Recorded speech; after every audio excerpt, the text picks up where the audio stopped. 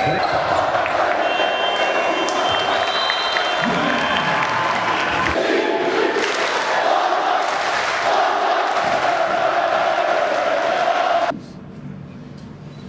söylenecek aslında çok fazla bir şey yok. Hatay gerçekten iyi takım.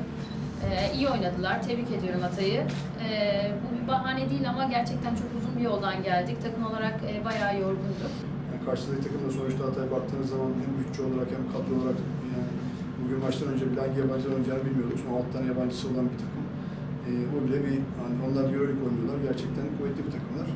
İlk yarıyı çok iyi oynadılar gerçekten. Bu kadar yüzde oynamak bize Ee, Geçen hafta içi Euroleague maçında kaybetmiştik ama çok çabuk toparladık. Bütün takım arkadaşlarımı tebrik ediyorum. Ee, Çok gü- güzel bir maç oldu. Bütün sayılar dağıldı. Tebrik ediyorum. Ee, çok zor bir ma- karşılaşma olacağını biliyorduk bizim için. Besiktas wa- was undefeated so far, Şu ana kadar yenilmemiş bir takıma karşı oynadık. and we came after a bad loss uh, in EuroLeague. Euroleague'de de biz kötü bir karşılaşma kaybetmiştik. So those two days that we had between the games, we tried to fix what we did wrong. İki karşılaşma arasında, bu iki karşılaşma arasında ne ya- yanlış yaptık, yaptıklarımızı düzeltmeye çalıştık.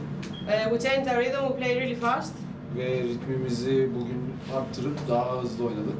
And today also we had the amazing support of our fans. Çok güzeldi, taraftarlarımız çok güzel de destekledi bizi. That gave us very good rhythm and very good energy, Onlar da bize ritim ve enerji verdi. and this made us win. Bugün bu nedenlerden dolayı kazandık.